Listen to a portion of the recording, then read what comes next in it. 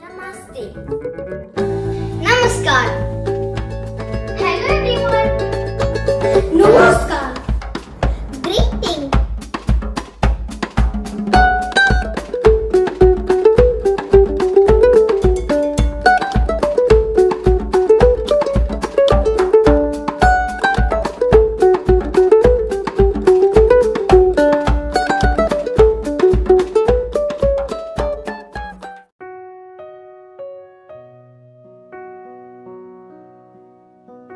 नमस्कार, मेरा नाम साक्षी झा है और मैं कक्षा आठवीं से हूँ। मैं अशोक मेमोरियल पब्लिक स्कूल से हूँ और आज मैं संस्कृत की एक कविता कहने वाली हूँ। ये कविता बहुत कम शब्दों में भारत का पूरा वर्णन करती है।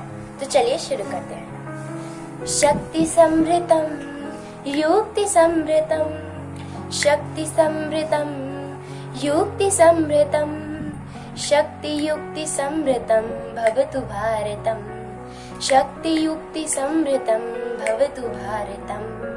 भारतम भारतम भवतु भारतम। भारतम भारतम भवतु भारतम। शस्त्रधारकम शास्त्रधारकम। शस्त्रधारकम शास्त्रधारकम। शस्त्रशास्त्रधारकं भवतु भारतम् शस्त्रशास्त्रधारकं भवतु भारतम्। भारतं भारतं भवतु भारतं भारतं भवतु भारतम्। रीतिसंस्कृतं नीतिसंस्कृतं रीतिसंस्कृतं नीतिसंस्कृतं रीतिनीतिसंस्कृतं भवतु भारतम्। रीतिनीतिसंस्कृतं भवतु भारतं भारतं भवतु भारतम् भारतं भारतं भवतु भारतम्।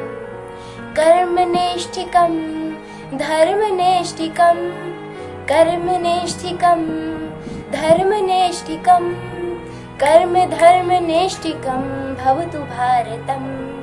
कर्म धर्मनेष्ठिकं भवतु भारतम् भारतं भारतं भवतु भारतम् भारतं भारतं भवतु भारतम् भक्तिसाधकं मुक्तिसाधकं भक्तिसाधकं मुक्तिसाधकं भक्तिमुक्तिसाधकं भवतु भारतम् भक्तिमुक्तिसाधकं भवतु भारतम् भारतं भारतं भवतु भारतम् भारतं भारतं भवतु भारतम् आशा करती हूँ आपको कविता अच्छी लगी होगी धन्यवाद आपका दिन शुभ हो Hi there.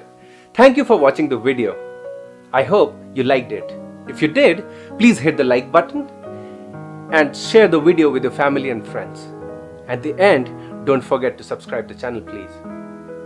If you did not like it, please let us know what we could improve upon in the comment section.